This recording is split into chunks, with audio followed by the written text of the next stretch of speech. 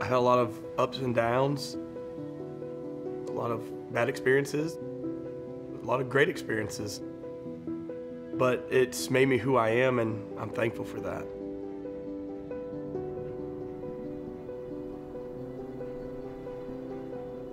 Uh, I'm a police officer by trade, uh, full time. I've been in law enforcement 15 years. I come from a big family-oriented department, fam family-oriented background with myself.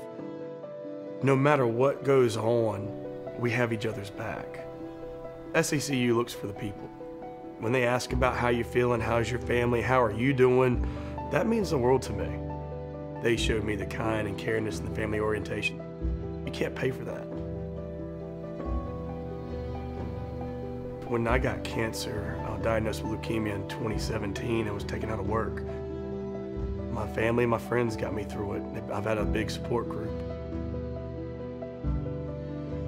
I look at what my life's led me to, what I do for a living, going through having cancer and being very small and weak, and then having the opportunity to stay alive. When I'm in the gym working out, I say to myself, what if I'm fighting somebody to save somebody's life? That's what pushes me to get stronger in the gym because I don't want that day to face that one evil that tries to take me or that other person out and I fail. I just, I can't accept that.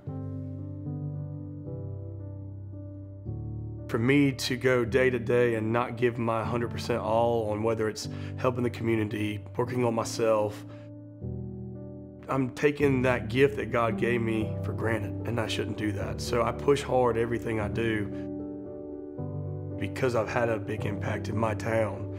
A lot of the community would ask about me, check on me, wondering if I was okay, if I was gonna make it.